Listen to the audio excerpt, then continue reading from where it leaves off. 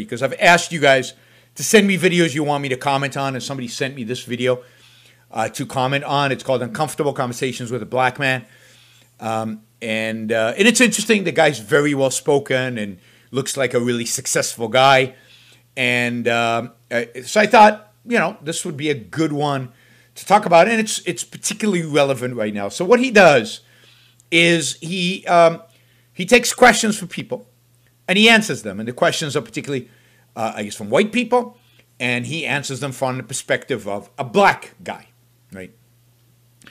And uh, so we're gonna we're gonna look at this video and we're gonna analyze it, and we'll see if I uh, let me find it. There it is. All right, there it is. Uh, he, has got a bunch of these videos, not that many because I think he started recently. Uh, he also brings people on the show and has uh, discussions with them. I haven't watched those videos yet, but it looks like those are interested. But anyway, this is the first show where he is uh, he is presenting this thing. Now, let me just start by saying the whole approach, the whole approach of white people, black people, white people asking black people, black people asking, I mean, that whole approach of looking at things from a collectivistic perspective, looking at things from solely from the prism of color, from the prism of race, is a recipe for disaster. Nothing good, nothing positive can come from this. This is a recipe for more racism, for more uh, discrimination, and, and really for more collectivism. Because the whole approach is from the perspective of race, from the perspective of collectivism. And, and unfortunately, this guy is uh, guilty of this. When asked on a different show, not this show, whether he would like to see a world of color blindness, he says no. He says, you know, something about color is beautiful and differences in culture beautiful and so on. But that's not the point of color blindness. And let me just say, my view is we should be colorblind when judging the character of people. We should be colorblind when judging the quality of a culture. The character of people is not determined by their race. The culture is not determined by race. People should be judged by their character as individuals. Culture should be judged by whether they are pro life or anti life, pro human values or anti human values, pro human progress or anti human progress. And color of skin, the geographic location of the culture, has nothing to do with any of those. Anyway, so I thought we'd uh, we'd watch this and analyze it, and um, we're going to start with the first question he gets. He has a little intro, which I'm skipping, and we'll start with the first question he gets, which is about riots. So it's perfect. Emmanuel, why are you all rioting? I understand protesting, but why riot? And to that, I submit this. Uh, MLK said that rioting is the language of the unheard. For years, black people have tried peacefully protesting, going back to 1965 and before with the Selma March, and that didn't work. And that didn't work. So uh, he keeps repeating this. I find it interesting that there's a complete there's, there's this assumption that the civil rights movement just didn't happen, that no progress was made in the 1960s, that we still somehow live under Jim Crow laws. That they're still being asked to go to the back of the bus.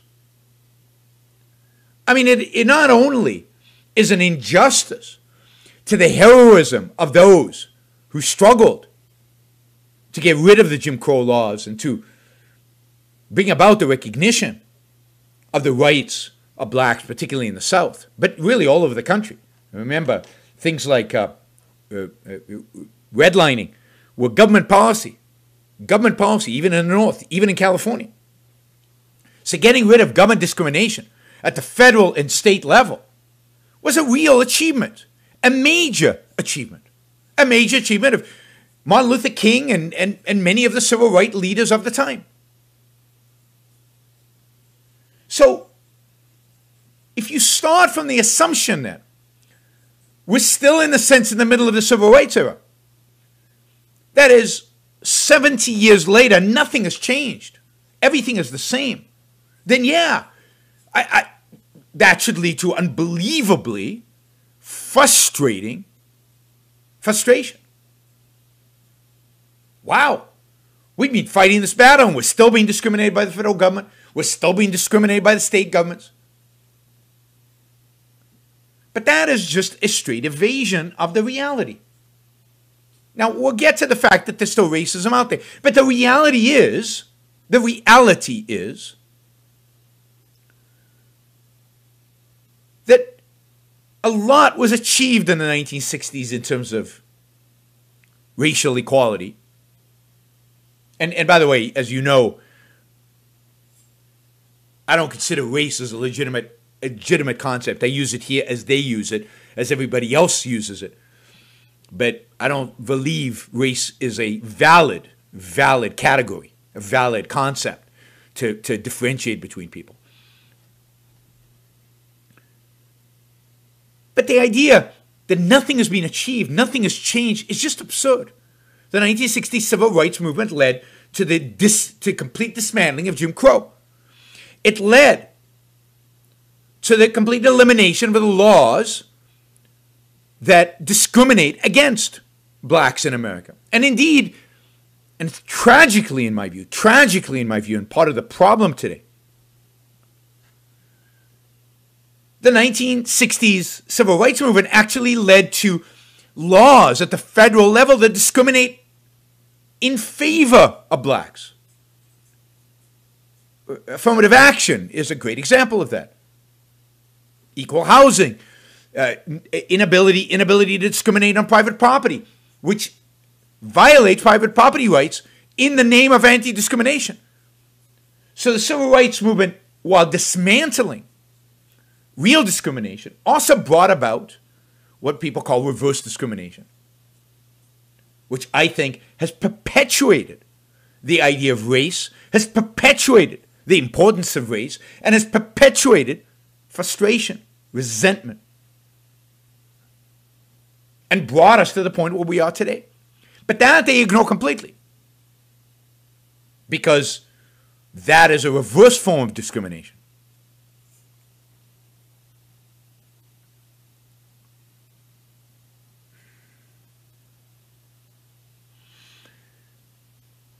And I find it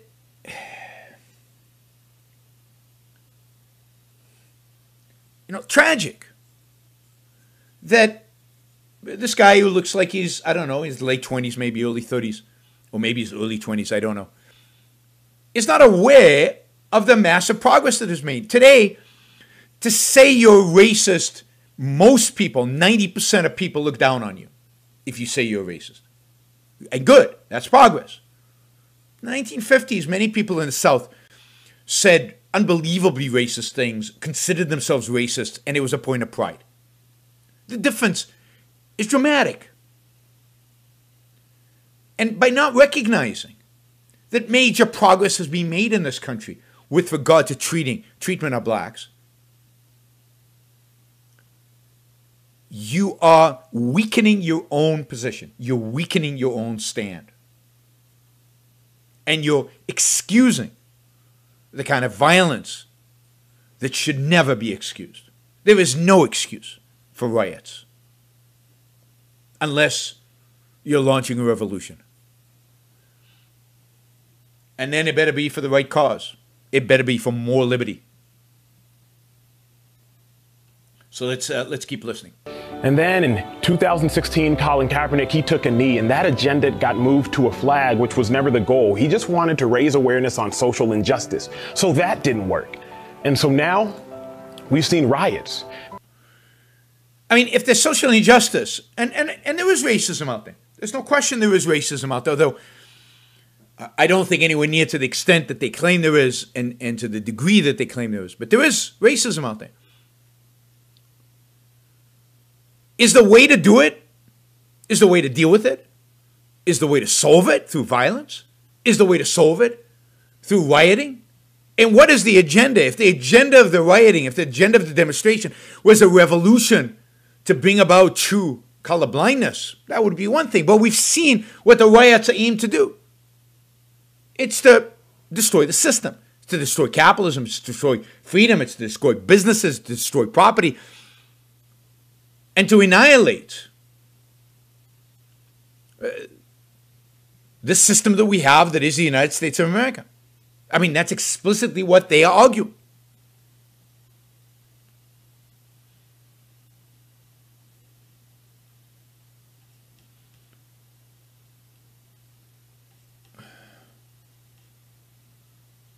Trevor asks uh, If riots persist in leftist cities, is it moral for governors to enact better stand your ground laws, which would result in more deadly force being used in protecting property? No, I think I think the solution is not for governors to say we give up. We're gonna let we're gonna let citizens protect their own property. I think if riots persist, then the solution is to bring out the National Guard and to arrest people in mass and to keep them in jail for longer periods of time, to prosecute them, to try them, and to put them in jail. The solution is not for the government to say, we want anarchy, we want people to go out there to defending their own property, and everybody's their own cop, which would create massive mayhem, like we saw with this guy walking down the street, whether he was protecting property or not, with a semi automatic rifle, and two people got killed. And he could have easily got killed. The solution needs to be for the police to actually do their job, for the government to actually do their job, for people who are in charge of law and order to actually provide us with law and order. Not to default on that by saying, no, no, no, we can't do it, you do it.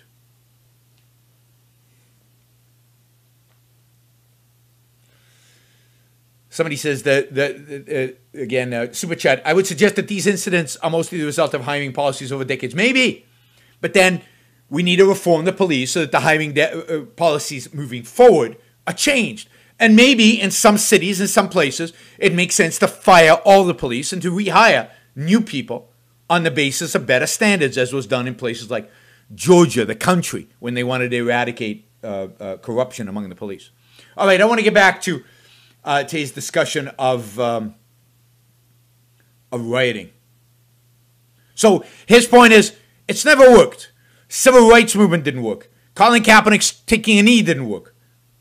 Because black people and hurt people are trying to get the attention of the oppressor.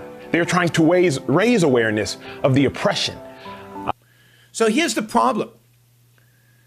The problem is that you view people as monoliths. You, you view people as collectives. We, black people, are trying to raise the awareness of the oppressor, white people. But that's not the issue. The issue is some white people, some police. The issue is not that we live in a country that's fundamentally racist, even though I think there are a lot of racist people in America, more than I thought in the past. So, somebody says you're not white, you're on, you can't emphasize in any way. We'll get to that because there's a sense in which that's right.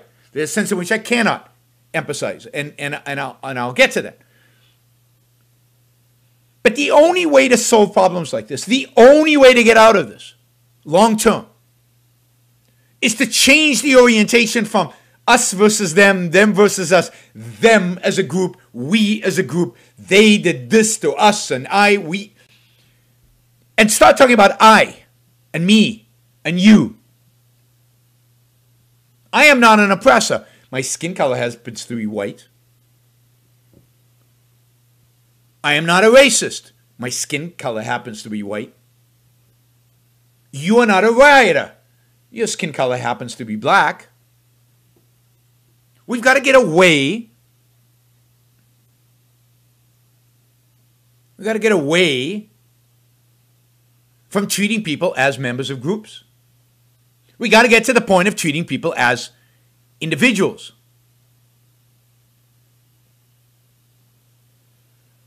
And we're a long way from that. And unfortunately, videos like this do not help us get there.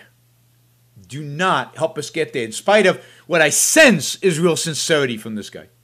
Uh, I was in, uh, I was biking around Lake Austin the other day, and there was a white girl around, about 15 Weird meters ahead. analogy he's giving here. And as I'm on my bike, I say to her, on your left, because I want to notify her I'm coming so that she can change her course of action.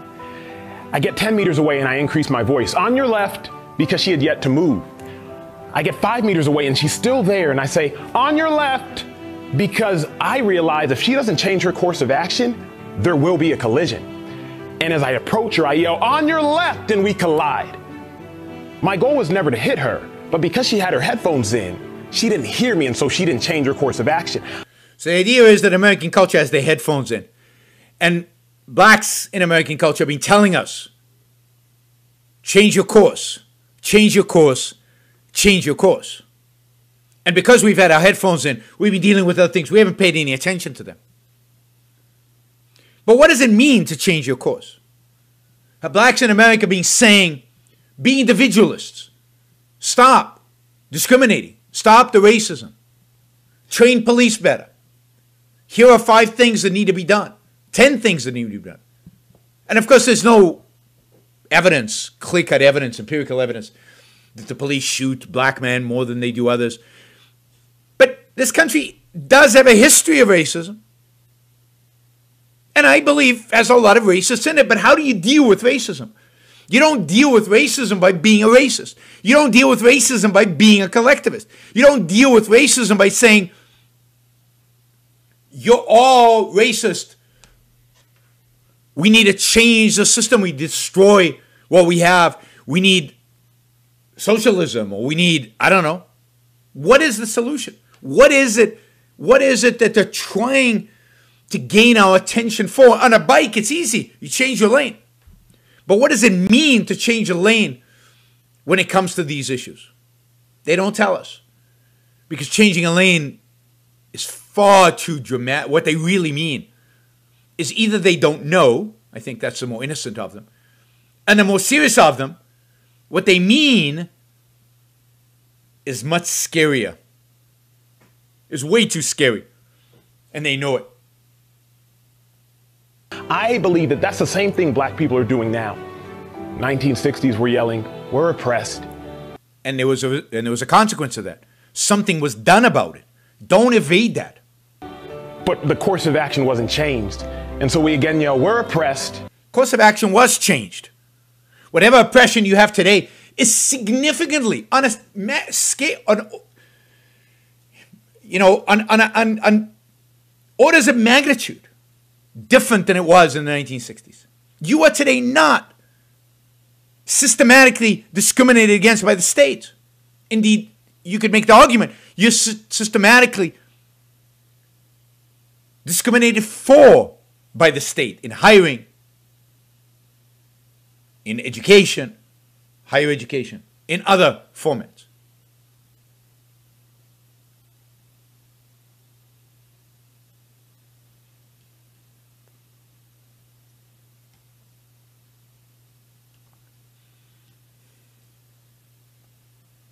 So, all this anger, all this frustration that I understand actually exists. If this is the attitude, nothing has changed. Everything's just as bad. Nobody ever listens to us. That's just nonsense. But the course of action wasn't changed. And so again, we yell, we're oppressed.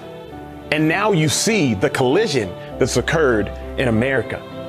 So while I don't condone rioting, and I'm sure you don't either, because for the most part, black people and others that are looting and rioting destructively, they're burning down their own homes. But when you think about the five different stages of grief, you come up to one stage, which is called anger. And sometimes emotions, they don't know their actions. So he's not condoning the riots, but he is excusing them. He's giving them a justification that does not belong. He's giving it a justification that is not right. He's giving it a justification that doesn't work. If racism is a problem, anger will not solve it. If racism is a problem, rioting and burning down your own homes doesn't solve it. If racism is a problem, Emotion is not the solution. Emotion and, and, and being a slave to that emotion, giving in to that emotion, acting out on that emotion for your own destruction by burning down your own home or the homes of your neighbors, of the homes of the businesses that serve you is not only not a solution, but it will make the problem only worse. And acting out like this doesn't cause people who are racist or might be sanctioning racism or might be even inadvertently promoting racist policies. It's not going to ch- change their minds.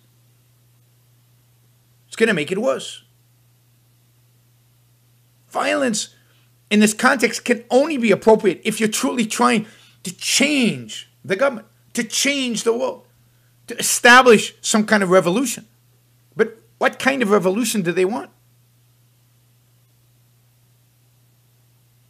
I remember my mom when I was a child, she lost her she lost her sister and I just remember her yelling and screaming and I come outside my room and I see my mom throwing herself into a wall and I'm wondering what happened. And my dad tells me that my mom's sister had died. Thinking back on that, throwing yourself into a wall, it's not going to change anything. You're actually harming yourself. Yep. But sometimes pain and hurt, it doesn't know how to express itself. So teach it how to express itself. Focus your efforts on teaching people how to express their anger, their frustration. And maybe, maybe, if you teach them the truth about what their anger and frustration should be, focused at, maybe then you'd have a more constructive solution. Because this cannot be, this cannot be an adult solution to the problem. This is a little child throwing a tantrum. And if you're a little child, you'll be treated as a little child. And that will not solve anybody's problems. Don't excuse the rioting under any circumstances. It is not excusable. No matter what the ultimate circumstances of the shooting turn out to be, rioting is not the answer. All right, before I go on, and I, I want to go on because there's some there's some other segments here that I think are interesting. Um, we got 89 likes, 250 watch, uh, two dislikes. I'm not surprised. This issue always gets a few people who dislike my what I think is a relatively nuanced position, and nuance is something people don't tend to like. But I'm sure there are more than 89 likes. So please, of the 220 people watching right now, please go over and like the show if you get any value from it. It helps with the algorithms, it helps with YouTube. It's just a good sign when we have a lot of likes. It, it elevates the show up in the standings and elevates my general channel up in the standing on YouTube. And we all want, hopefully, you guys all want this show to be successful on YouTube. So please uh, like the show um, and, and comment and participate. And the more engagement there is, uh, the more YouTube likes me, which means we get more out of the show, the more YouTube likes me. YouTube liking me is good. All right. Uh, let's see. Also, of course, don't forget to um, share. Uh, sharing is the most important thing you can do on social media. It is the way in which you can introduce new people to the show. And of course, those of you who really do get value from the show and uh, and who uh, think that they should uh, provide value for value trade, then uh, please support the show. You can do so on a super chat, or you can do so on yaronbrookshow.com slash support on Patreon, on Subscribestar, on Locals. And thank you for the hundreds of people who actually do support the show. Uh, it's it's amazing how many people uh, how many people do support the show and uh, how generous many of you are. So thank you, thank you, thank you. All right, let's keep going. I, there's there's more that this guy has to say, and you know that that I think is worth is worth hearing. You know, another question I get from my white friends, they ask me, "Why do you think white privilege exists?" By the way. Um, the whole notion of thinking of people in terms of white friends, brown friends, green friends, white, black friends, is bizarre to me. Is bizarre to me. Again, the more you make race an issue, the more race will be an issue. I have friends. They have variety of different skin tones. A variety of different skin colors. Who cares? That's not what defines them. It's not what makes them who they are. And I'm suspicious of people generally who think in terms of I've, that, I've, I have some Jewish friends, I have some non-Jewish friends. I've, you know what? What? What the hell? Stop focusing on my white friends, my black friends, my green. You know that's that's exactly the problem. And again, the more. Oh wow, Richard, thank you. The more, the more we focus on race, the more we talk race, the more we emphasize race, the more we categorize people based on their race, the more we put them into groups and tribes and racial identifiers, the more racism we will have. The more racism we will have. No question. No matter what your motives are. And, and again, I get the sense that this guy has positive motives. And I say this if you and I were in a race, and the official at the start line, they held me back for the first 200 meters. And you had a 200 meter then head start. The only way to level out that race is to either stop you from running or put me on a golf cart and catch you up and catch myself up. Well, you see, what we've done in America is we've simply said, okay, Emmanuel, you're now free to run. And we've acted as if it's a fair race. When in all honesty, black people were held back for hundreds of years. And so if in the late 1960s we say, okay, black people, you can go now, that's not a fair race. LBJ, he said it best when he said, you can't shackle and chain someone for hundreds of years, liberate them to freely compete with the rest, and still justly believe that you've been fair. Now, that's pretty interesting, right? The analogy, right? Because in a race, if you give somebody a 200 yard advantage, foot advantage, whatever, then we all know that's not fair. And if you hold somebody back purposefully, that's not fair. And we know that Jim Crow laws were not fair and slavery was not fair. But what is, what is the problem with using the analogy of a race for economics? Now, by the way, just as an aside, this guy is, an, is the son of an immigrant who came to the United States. I don't know exactly when, but came to the United States after Jim Crow laws are gone, after slavery no longer existed. His family was not held back. Indeed, my guess is that the reason his family came to the United States is because he had more opportunities in the United States than any other place on the planet. The reason they emigrated here is because even though he's black, he had amazing opportunities. And indeed, we know that blacks from Caribbean, blacks from Nigeria, blacks from Africa, they've done over the last few decades, done phenomenally well in the United States. But why is an economy not a race? Somebody says, because it's not a pie. Yes, because it's not a zero sum game. It's not a race. It's not a race with winners and losers. An economy is a place in which we trade. Yes, some people make more than others but they only make more than others by making more for others. Somebody wins when I win. In a sense, everybody wins their own race. You're not running against other people, you're running against yourself.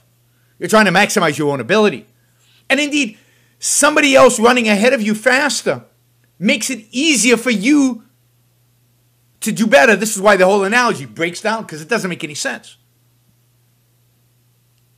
As I've said many times, we've all benefited enormously from the Jeff Bezos and the Bill Gateses and the and the and the, and the Steve Jobses of the world. Our lives are better for that, even though they won the race. I'm not a billionaire; they are, and yet we're all better off. So the idea of looking at races in terms of, again, groups, collectives, in terms of they're ahead, they're behind, they're winning, they're losing. No. Your life is your responsibility. Make the most out of the trades you have an opportunity to do. And if, if you are barred from a certain profession by law, if you're prevented from participating in a trade by law, or if the culture is so bad that you cannot trade with people because they are such racist, then yeah, that's something to complain about. And to the extent that there's racism in America, yes, that's something to complain about. But this is not a race. This is not a, competi- a zero sum competition. This is not a good analogy. And by the way, it is true. It is absolutely true that the fact that the United States of America is held back through slavery and then through Jim Crow, the black population, that it excluded it from certain activities, professions, access to certain benefits. The fact that we have done that, that we did that, that the, this country did that for decades, that is a travesty. That is unbelievably unjust. That is horrific. But what is the solution to something like that? Is to get rid of it, to stop it, to treat people like they should be treated with equal rights, to take away the barriers for opportunities. And yes, the children of those people who were freed for the first time are going to struggle. It's not easy coming out of slavery. It's not easy coming out of an environment like Jim Crow. And it's a struggle. And that's tragic. But it is a reality. There's no way to fix that reality. Unfortunately. It's hard.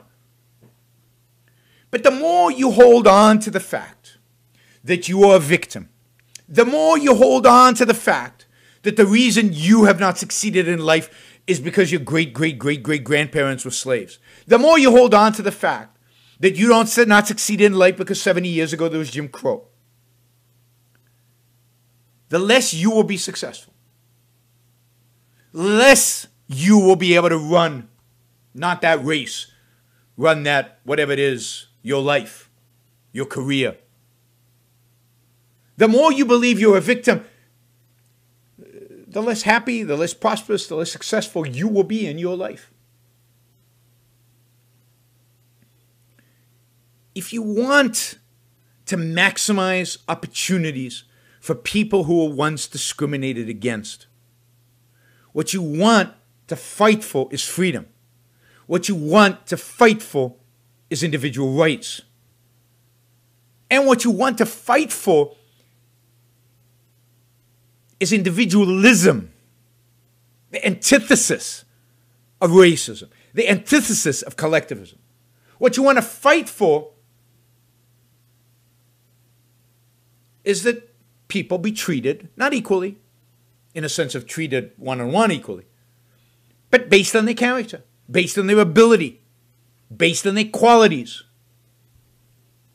based on their qualifications. What you want is capitalism and its defense of property rights, capitalism and its defense of individual rights.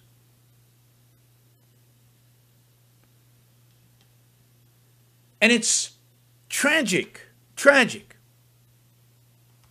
for them, for all of us.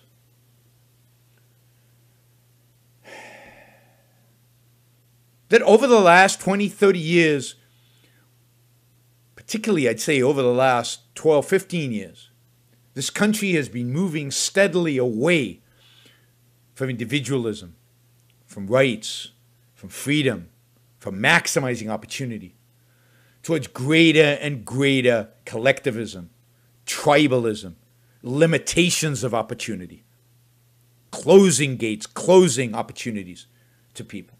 Instead of people like this, articulate, smart people like this, fighting for privatizing education so that their children, they, their, their families' children, and the people they care about, children, can get the best education possible.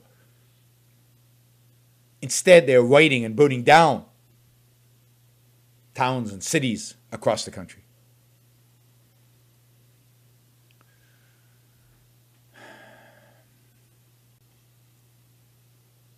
All right. Um, we've got a bunch of super chat questions here. This is great. Thank you all.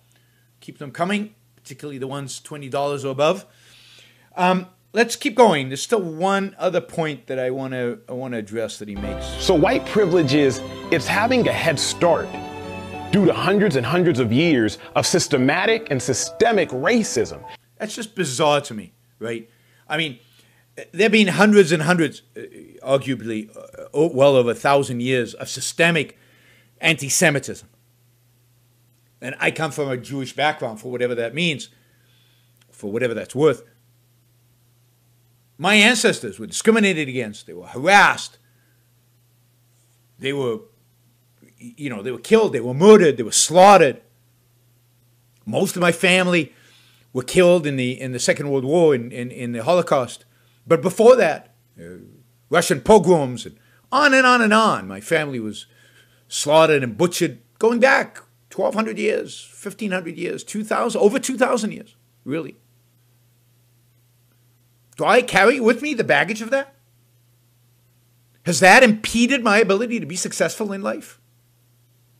I mean, you can make the argument that my family would have been richer, but that's me. I wouldn't have been richer. Is my success in life dependent on my success, on my father's success, who's dependent on his father's success, who's dependent on his father's success? And of course, it's not true of this guy, the guy talking. Again, he came here from, as far as I know, from the Caribbean or his parents. They came here. Why? Because the opportunities. What about blacks who come from Africa, who do very well in America? I've told you, I think, before that the most educated nationality of Americans in the United States today are Nigerians. They're the most educated Americans. To you know, if you if if if if you're gonna be, if you're gonna in, instill in people the idea, not only not that they are victims of people acting against them today. I mean, that there's a solution to. We can solve the problem of racism or, or Jim Crow laws or, or, or problem today where there's somebody is mistreating somebody else. That can be solved. But if you're a victim because for the last several hundred years you're being mis- your ancestors were mistreated, you're not being mistreated right now. But for the last hundred years you were mistreated. There's no solution to that. There's no way to stop that.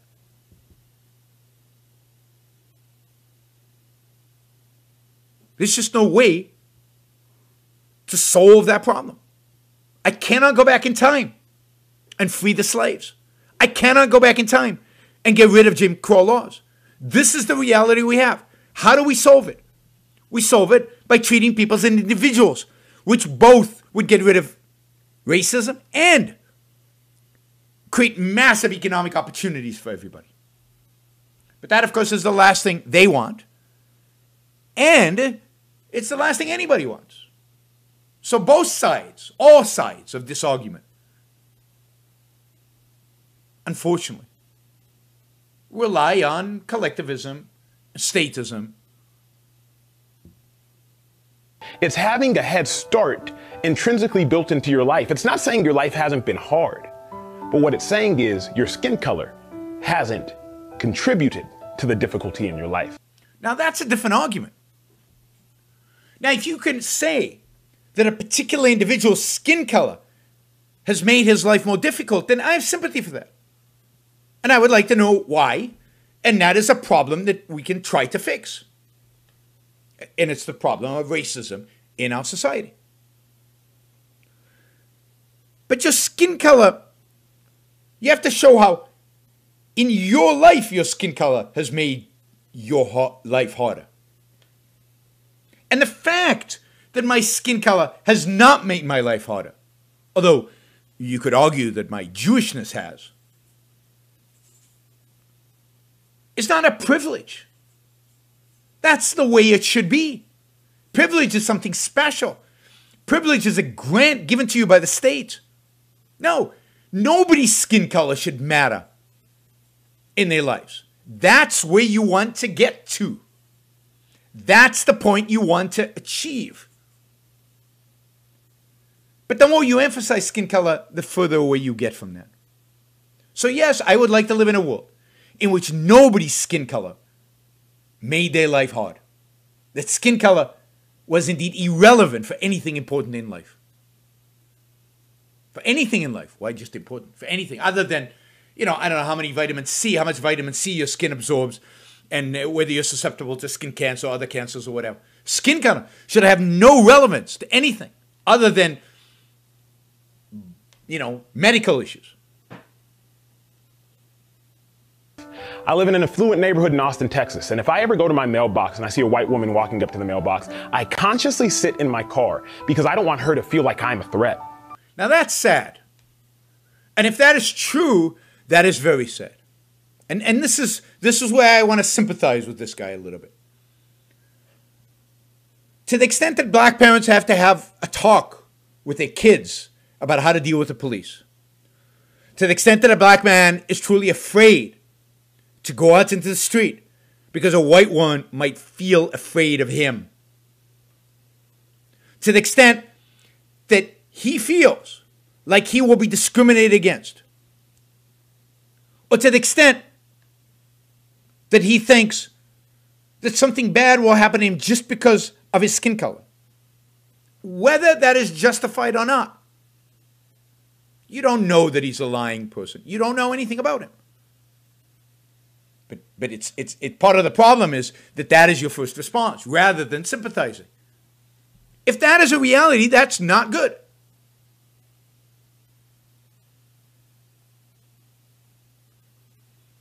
To the extent that there's a reality out there, and, and look, you hear this from blacks in this country a lot. It's not just him.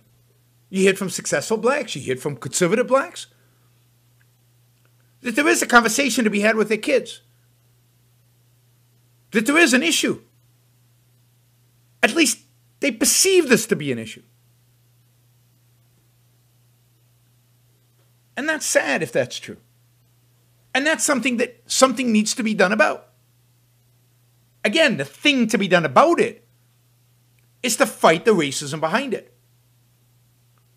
It's to change people's ideas about race.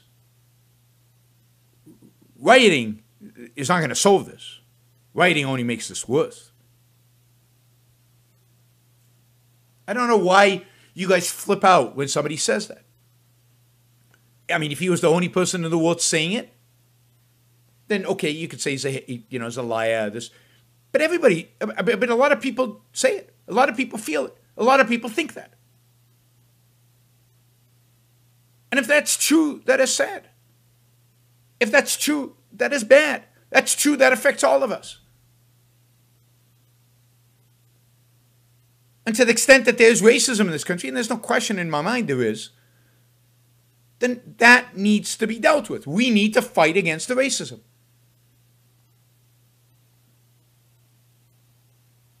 If I'm on an elevator with a white person, I try to hit the button first and get off the elevator first because I don't want them to perceive me as a threat because I realize Sounds like at a any point in time, considerate whiteness can be weaponized.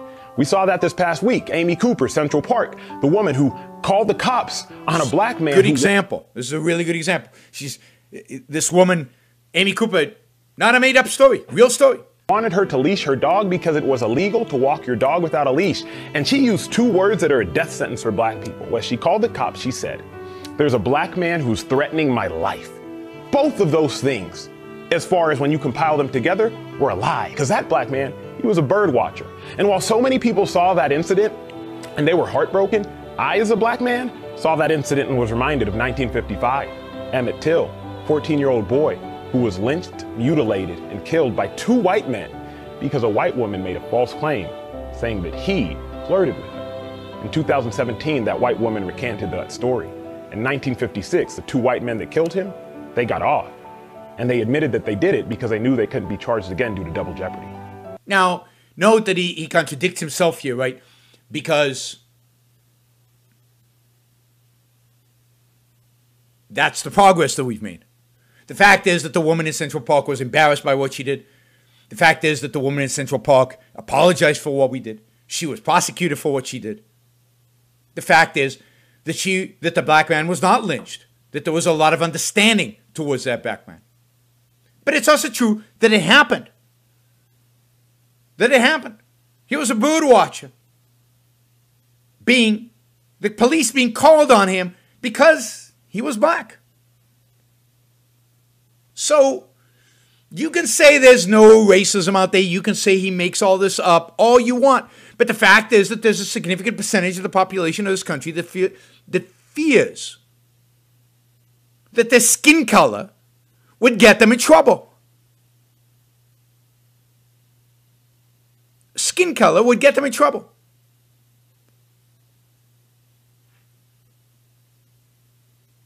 How is that right?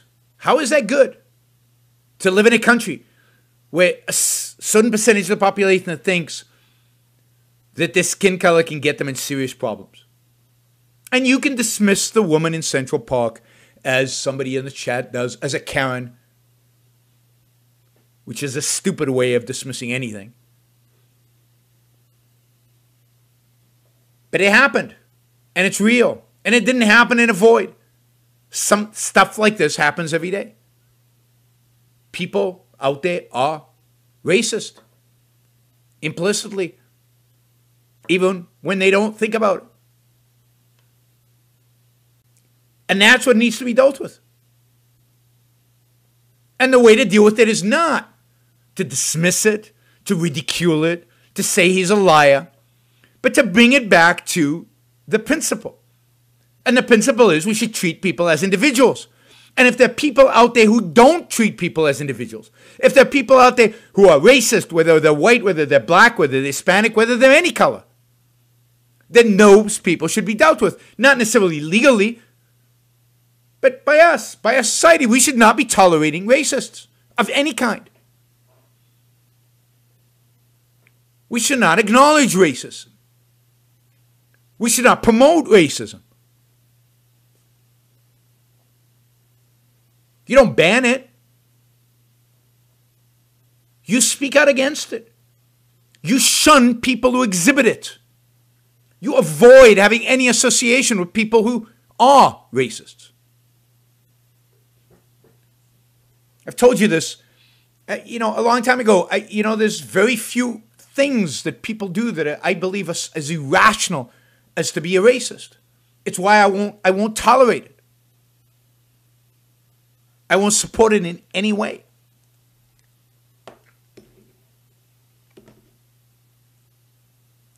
It's why I won't participate in the stupid I don't know IQ arguments and debates I mean, I will participate in them to say that they're stupid, that they're irrelevant, and that they only promote the worst in people. Racism must be eliminated. Racism must be eradicated for the face of the earth. We must argue against the racists on this chat, YouTube chat, and in everywhere else in our lives. And that means we need to argue about racism wherever we see it. Whoever preaches it, whoever practices, doesn't matter. What we need today, what I call the new intellectual, would be any man or woman who is willing to think. Meaning, any man or woman who knows that man's life must be guided by reason, by the intellect, not by feelings, wishes, whims, or mystic revelations. Any man or woman who values his life and who does not want to give in to today's cult of despair, cynicism, and impotence, and does not intend to give up the world to the dark ages and to the rule of the collectivist brute. All right, before we go on, reminder please like the show. We, have got 163 live listeners right now, uh, 30 likes that should be at least 100. I figure at least 100 of you actually like the show. Maybe there are like 60 of the Matthews out there who hate it. But but at least the people who are liking it, you know, I want to see I want to see a thumbs up. There you go. Start liking it. I want to see that go to 100. All it takes is a click of a, a click of a, a, thing. Whether you're looking at this, uh, and and you know the likes matter. It, it's not an issue of my ego. It's an issue of the algorithm. The more you like something, the more the algorithm likes it. So, you know, and if you don't like the show, give it a thumbs down. Let's see your actual views being reflected in the likes. But uh, if you like it, don't just sit there, help get the show promoted. Of course, you should also share and uh, you can support the show. at yaronbrookshow.com slash support or on Patreon or Subscribestar or Locals uh, and, uh, and show your support for all, for, for, for the work, for the value hopefully you're receiving from this. And, uh, and of course, don't forget, if you're not a subscriber, even if you, even if you just come here to troll, or even if you're here like Matthew to defend Marx, uh, then uh, you should subscribe because that way you'll know when to show up. You'll know what shows are on, when they're on. You'll get notified, right? So, um, yes, like, share, subscribe, support. Like, share, subscribe, support. There you go. Easy. Do one or all of those, please.